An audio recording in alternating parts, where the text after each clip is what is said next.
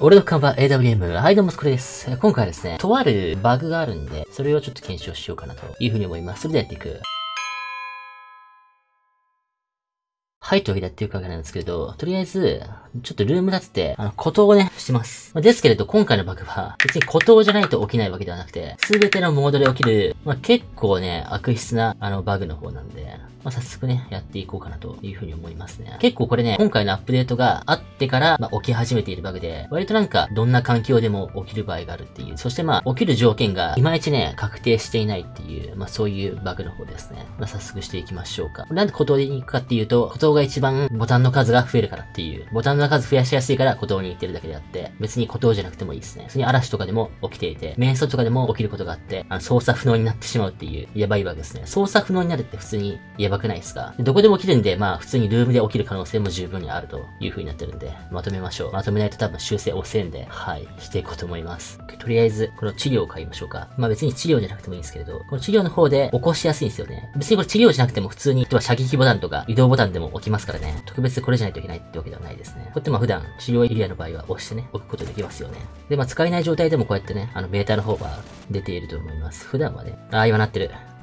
今なってますね。これ、ずっとそのボタンってのが出ないといけないんですが、今ボタン消えてますよね、治療エリア。これが今回のバグですね。不意のタイミングでボタンが消えてしまうってバグ。治療エリアの場合は今みたいな感じで、持ち帰ればね、持ち直せば出るんですが、これね、どのボタンでも起きる時があるんですよ。割と。うん。例えば瞑想とか、例えば通常とか、まあ通常で起きるんだったらルームでも起きるでしょう。これが厄介なんですよね。これが今あるバグ。どんなボタンも消えてしまうバグ。まあ、その一回ボタンが消えるような操作をすると、まあ、起きがちではあるんですが、もうこの条件で起きるっていうのが、まあ、いまいちその、ないものなんで、僕もその、この治療エリアに関しては自分で再現できるんですけれど、あとその、まあ、移動ボタンとか射撃ボタンが消えるような、まあ、バグの方に関しては、僕自身もその、原因を突き止めることができていないんで、人によってはその、瞑想中に射撃ボタンが消えるって人もいらっしゃいますしね。いや、瞑想中にさ、射撃ボタンの方が消えるって、俺致命的だと思うんだよね。普通に致命的だと思いますから、このバグはあの、運営の方はあの、直していただけると、今回のアップデートの方からあの、実装されておりますので、あの、把握してさっさと直してください。今はまだそんな、多分ね、表面化してないと思いますが、そのうちこのバグすごい目立つようになると思うんで、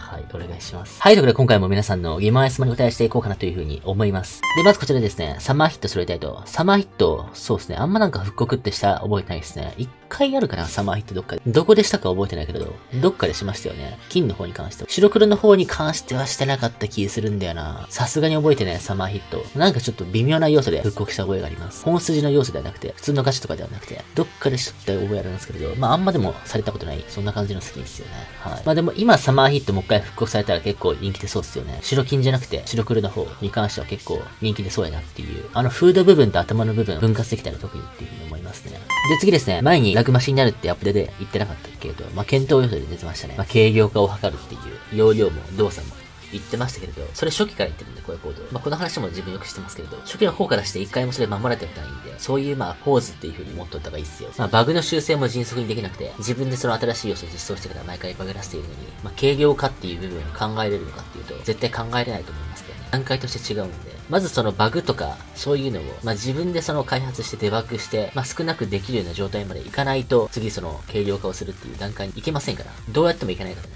物理的に無理なんで、まあそういうポーズですよ、正直な話。で、次ですね、確か影の代理人 M4 って復帰した人と一緒にやったポイントでもらえる箱から廃止されるんじゃなかったっけど、あれ入ってましたっけ？再開パックっすよね。はい。復帰シャドウ行った時の特典でもらえるポイントで交換できる、週に3つですね、最大交換できる箱の方から。あれ入ってたっけ？覚えてねえな。なんか、微妙な AK のオレンジャックとか入っとったイメージありますけど、まあ今一度見ましたけど、入っとったかなまあ、あれ書いてるラインナップが全てじゃないんで、さすがに覚えてねえな。で、次ですね。バトルパスの81、パーフェキ人魚と同じじゃないですか、と。まあ、相当似てますね。テイストは相当同じ。まあ、色合いとか似るのはしゃあないと思うんですけれど、ちょっと外せようとは思いますけれど、まあ、そこで同じ感じにしていく分、今シーズンは葉っぱの金枠被せていくってことなんですかね。いらんけどね、葉っぱの金枠。葉っぱの方がさ、よっぽどその強化されてるんだったら別ですけれど、別に強化はされてないんで。なんかエフェのネメシスぐらい強くなったら別ですけれど、そういうわけじゃないっしょ。うん。まあ、金枠になったところでね。まあ、いいんじゃないですか。妥協樹なんだったら、んな程度で。で、次ですね、過去の妹も復刻してほしいですね、と。逆に何の妹が欲しいですか？過去の妹。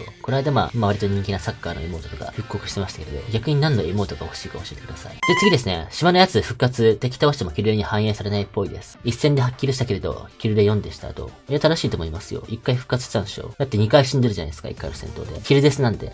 はい。キルの数をデスで割ってるんで、2回死んでるんだったら、8キルの2デスで、キルで4らしいと思いますけど、その計算ですよ、今、荒野行動って。はい。復活系多いんで。まあ、あの、今回の島の改変結構いいですね。自分行きまくってますね。今シーズン自分、孤島じゃなくて、嵐ばっか行ってますよ。まあ、嵐マッチングして、あそこ初手折りしてから、まあ、それでその、キル取って、まあ、死ぬみたいな。うん。まあ、回転早くランク上がるんで、めっちゃいいですね。まあ、それであそこで勝ち上がったら、まあ、アイテムの方も取って、最後まで生き延び続けるっていう。まあ、それすることによって、まあ、安定してランク上がりますし、はい。結構いい感じです。割となんか、AR とかのキルクリップとか、近距離のキルクリップを取りたい人とか、割となんかあそこ、遠距離のキルクリップ、AR の方で取りたい人とか、SR で取りたい人にとってもいいんじゃないですか。初手、まあ、その、湖畔とかに降りて、まあ、湖畔で AR とか SR で拾って、まあ、湖畔とか、まあ、その上の丘の方から、外側の方からパンパンパンパン撃って、あの中におる敵をね、落としまくるっていう、そういうクリップ。割となんかクリップを取るという意味でも、あそこはいいと思いますね。なんかそのいい対面を作れば、あそこのクリップって映える気がするんですよね。うん。だって打ち放題ですよ。外側から。そんなことあります？ね、SR でさ、ちょっと高台乗ったら、あそこにおるとき、打ち放題みたいな、なかなかないと思うんで、使えると思いますよ。まあ、今のうちに皆さん活用方法をね、見出して、いろいろなんかやってみるといいと思いますね。安く、降りたらさ、2キロ担保されてますからね。まあ、相手と一緒にその、自滅して、それでまあ、その、無理やりそのダウンカットまで持っていけば、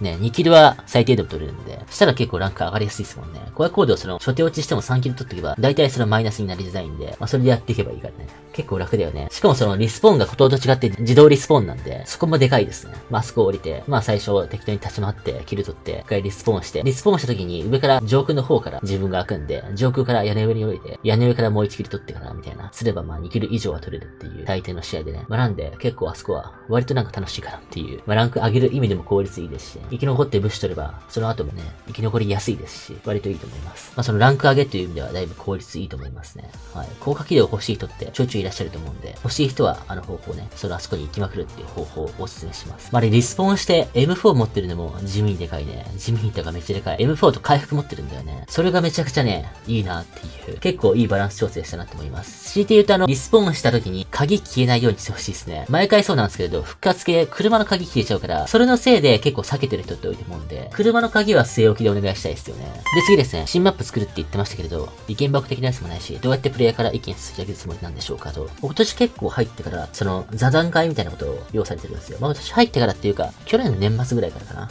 去年の下半期ぐらいからやってるんですけど、まあ、そこら辺でなんか意見吸い上げるってことをちょいちょいしてますが、そっちからやるつもりなんじゃないですかね。まあそっちである程度意見吸い上げて、まあある程度作っていってから、まあ公の方でちょっとなんか意見聞いてみたいな感じでする予定じゃないですか。最近のまあ小屋ドームへのあるあるな方法っすよね。で次ですね、16みたいなあの反動めっちゃ好きやったから残念と。まあ81の反動のあれっすよね。結構まあ81でもともと慣れとった人は大変っすよね、すり合わせが。まあでも一応反動の強さが変わってるわけではないんで、まあ主角的なものを無視して今あると同じ動作をすれば、一応はリコイルできるんですけれど、まあ、難しい問題ですよね。そこら辺変えるとどうしても既存で慣れていた人は大変っていう。まあ、僕はそもそも81使わないんで、他の AR と同じ感じで打てて結構楽なんでいいんですけれど、そうじゃない人にとっては大変な部分。まあ、新規を優先するか、既存を優先するかっていうところですよね。まあ、新規の方がいいとは思いますが、まあ、なかなか、じゃあそれで全てがいいのかっていうと別の話なんで、何とも言えないですね。81設定のオンオフとかが来ると、まあいいんですけれど、まあ、それもそれで、いよいよオンオフ設定多すぎるっていう話にもなってきますよね。まあでも今回の改変みたいなのを見ると、視覚効果がいかにその大事なのかっていうのがわかりますよね。結構このジュースキンの方が打ちやすいみたいな話ってたまにあるでしょ。